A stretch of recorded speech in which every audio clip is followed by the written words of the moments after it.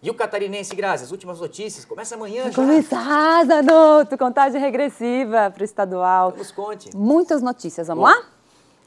Então tá bom, bom dia para você. Contagem regressiva para o estadual de 2018, que começa amanhã com os confrontos importantes, né? Vamos dar uma olhada para você aí, já está na tela. No domingo, no Domingos Lima tem clássico da linguiça em Concórdia e Chapecoense se enfrentam às 8h30 da noite. No mesmo horário, no Aníbal Costa tem outro clássico, Ercílio Luz e Tubarão.